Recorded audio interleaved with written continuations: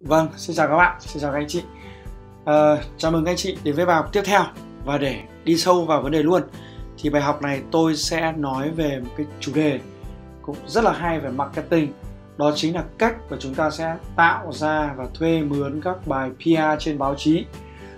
Các bài PR trên báo chí là những cái bài viết mà chúng ta có thể trả phí hoặc không trả phí để PR về cái thương hiệu của chúng ta.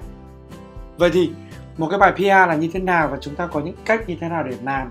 Và sau đó thì tiêu chuẩn để một cái bài viết như thế nào tôi sẽ cho các bạn xem tham khảo. Và tất nhiên trên thị trường có rất nhiều bài hay hay hay hơn cái bài của tôi, nhưng tôi sẽ chỉ nói về tôi thôi, ok? Tôi sẽ không dùng của người khác để nói, vì cái bài học này là cái bài học mà tôi nói về những cái thứ tôi đã làm, ok? Vâng thế thì để tiện nó tự, tự theo dõi thì các bạn có thể vào một số cái đường link tôi giới thiệu sau này. Đấy. À, những cái cách để chúng ta có thể đi được các bài PR trực tuyến như là chúng ta mua bài PR trên các báo đấy đúng không ạ? Chúng ta quan tâm là à, tạp chí nào trang nào web nào thì à, cho cái thương hiệu nào cho sản phẩm nào. Bởi vì không phải là một cái website là dành cho tất cả các cái thương hiệu đều có thể phù hợp thí dụ như là mình làm đồ thời trang nữ, công sở một chút nhưng mà phải hơi hơi trẻ trẻ một chút, thì mình có thể mua bài PR ở trên báo ngôi sao.net còn công sở chung chung thì VN Express hay dân trí, ok. Thế nhưng nếu mà thời trang 14 thì kênh 14 kiểu kiểu như thế. Ý tôi muốn nói là cái cách mà chúng ta lựa chọn các tạp chí như vậy. Còn nếu mà các bạn đẳng cấp nữa thì Heritage của Vietnam Airlines, đúng không ạ? Hoặc là thậm chí những báo nước ngoài luôn. Đấy. À, ngoài ra thì chúng ta có rất nhiều các công cụ khác. Thì trong các video khác này tôi đã nói rồi. Thì cái video này tôi chỉ nói về các bài PR PR trực tuyến được chưa ạ? Đấy, các cái chiêu để có thể có được những bài PR không phải trả phí. Như là chúng ta có thể sử dụng cái dạng là bomb PR đúng không ạ? Những cái ờ, bài mà ờ, chúng ta gây sốc với thị trường ờ, scandal đúng không ạ? Chúng ta cũng làm từ thiện uh, Ờ, làm những cái từ từ thiện một cách thiện nguyện thiện tâm kết hợp với việc là từ thiện kết hợp với PR đúng không ạ? Đấy rồi thì chúng ta cũng đánh vào những yếu tố cảm động cảm xúc rồi thì chúng ta có thể đưa ra các chương trình khuyến mại shop. Thí dụ như là uh, cứ có một cái chương trình khuyến mại gì đó sốc sốc một cái là báo chí người ta lại đưa tin. Đấy, các bạn có thể vào uh, mạng các bạn tìm cái bài mà khuyến mại theo thời tiết ở ngoài trời bao nhiêu độ trong ờ, cửa hàng giảm mấy nhiêu phần trăm, các bạn tìm cái từ khóa như thế là khuyến mại theo thời tiết thì sẽ ra bài của một cái thương hiệu thời trang nổi tiếng ở Hà Nội. Thì cái chương trình đó là tôi tư vấn và tôi viết và tôi chạy cho thương hiệu rất là rẻ và rất là hiệu quả.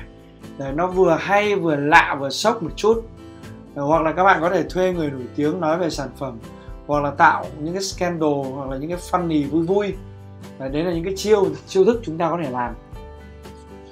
Thế còn việc mà đặt mua một cái bài báo thì nó phụ thuộc vào báo gì ngân sách ừ, ờ, bao nhiêu ở trang chủ hay trang con đúng không ạ? Đăng vào giờ nào? Thí dụ như là vào lúc đăng bao giờ các bạn phải đăng vào lúc 10 giờ sáng vào ca sáng vào 2 giờ chiều lúc ca chiều. Bởi vì giờ đó là cái giờ mà online người ta ờ, cái nó đạt đỉnh cái số người, người ta online nhiều nhất khi lên 10 giờ phát là trong khoảng từ 10 giờ đến 11 giờ người ta sẽ đọc rất nhiều. Bởi vì sau đó hai tiếng nó sẽ bị trôi. À, nó nó để dành cho các tin khác lên. Nguyên tắc của báo chí là như thế. Nhất là các bạn điện tử bây giờ. Đấy. Ok. Thế thì tôi sẽ lấy một cái vấn đề thứ ba là tôi sẽ nói một cái uh, ví dụ uh, thực tế để phân tích một cái bài PR một cái bài quảng cáo chuẩn. Và cái bài thứ nhất là tôi muốn nói về cái bài viết là trên uh, báo Zing News. Đấy. Và điện tử Zing nhá. Chinic kinh doanh quần áo bằng chiến lược bán lạc kèm bia. Đấy, các bạn search bài đấy hoặc là trên video các bạn sẽ thấy thêm. Đấy. cái bài này là viết ờ, đăng vào hồi tháng 5 năm 2015 tức là cách đây cũng 2 năm rồi. Thì cái bạn ờ, chủ ở trong này bạn lại Huy Việt ấy. Đấy, thì bạn là học viên của tôi. Bạn bỏ tiền ra bạn đi học cái chương trình về bán hàng trực tuyến chương trình bán hàng trên Facebook chương trình marketing online. Đấy, tôi có nhiều cái chương trình như vậy. Thế thì à, sau đó thì bạn bảo bây giờ em uh, uh, đang làm cắt tóc em không làm được em thấy nó vất vả và nó cũng ờ, không được tốt lắm. Em muốn đổi sang mảng kinh doanh quần áo thì sao? Đấy, ok nên tôi cũng có tư vấn cho bạn ý. Và cái ngày khai trương thì toàn bộ những cái ý tưởng À, về chương trình khai trương ví dụ như là uh, tặng cho khách hàng một cái sản phẩm bất kỳ các khách hàng cứ đến là không cần quan tâm đến chuyện là họ có mua hay không đều tặng cho một sản phẩm. Đấy, thì à, bạn ấy chạy một cái chương trình là là cứ bất kỳ khách đến khai trương như vậy tặng cho một cái áo thun Đấy, bạn ấy nhập vào với một cái giá x xì sau đó bạn ấy bán ra với giá y sau đó thì bạn ấy free toàn bộ cái giá y đó Đấy. và cái chiến lược này thì có các bạn có thể nhìn thấy là có cả lời bình luận của tôi đúng không đấy ông Phan Anh có đánh giá vân vân thậm chí là chiến lược bán lạc kèm bia thì tôi cũng là những cái bài viết tiêu đề thì tôi cũng có viết cho uh, bạn ý đấy. và đây là một cái bài PR mà uh, nó đi dưới dạng là PR không mất tiền. Tức là vì mình ra chương trình shop ờ, mình uh, kết hợp với uh, những cái phóng viên những cái người mà phải viết bài. Đấy, thì mình sẽ đưa chương trình cho họ mình đưa bài cho họ hay là họ biên tập một chút họ đăng lên bởi vì bản thân họ cũng cần có bài để đăng. Đấy, và và mình dựa trên những cái mối quan hệ thân thiết uy tín tin cậy. Và sau đó thì cũng có thể là có thể là có những cái sự cảm ơn với cái phóng viên đó bằng một chút quà một chút tiền. Đấy. hoặc nếu không đi được theo con đường đó thì mình mua thẳng. Bia cũng không đắt một vài triệu đồng mua được. Thì đấy là một cái ờ, chiến lược mà khuyến mại sốc gọi là bán lạc kèm bia.